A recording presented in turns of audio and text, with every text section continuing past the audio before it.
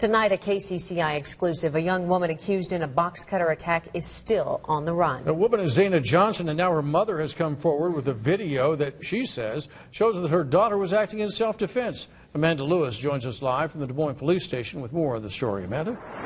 Yeah, police are still looking for Zana Johnson tonight, but they say they'd love to get a look at that video, and they're going to take a look at it. The video shows several fights that night between young women. Just a warning now, the video is disturbing.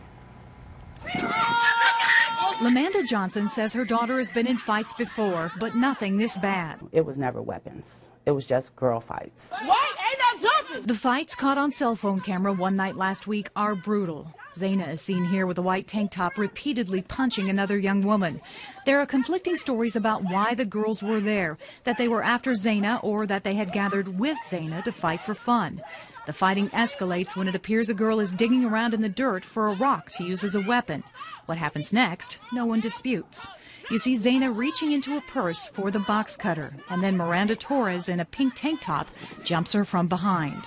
Miranda says Zana saw her coming and went for the weapon. Zana's mother says her daughter told her she was surprised by Miranda's attack. She was like, Mom, I never even had the blade up. And when she hit me from behind, I just turned around and started fighting her. You can't tell from the video if the blade is up, but you can see the results in a photo Miranda posted on her Facebook page. She didn't want to talk to us on camera, but said she was only after a verbal confrontation with Zana until she saw Zana reaching into her purse for a weapon. Zana's mom says it was self-defense and that her daughter is on the run for one reason. She's scared. She do plan on turning herself in, though. I'm going to walk her to the police station.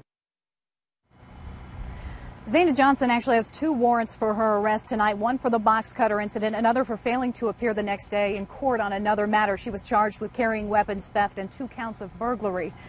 So uh, Des Moines police are looking for Johnson tonight for a couple of reasons. Hey, Amanda, you said that the girls have fought before. We saw the video being uh, that you had, and then also it looked like somebody else had a, uh, a, video camera there or cell phone camera. So is, is this a common thing? I mean, what was really going on here? Well, the video is actually much longer, and in that video, you can see lots of girls with cell phones. And Zana's mom says this is a pretty common occurrence, and the girls videotape it and they put it up on Facebook. Amanda, thank you.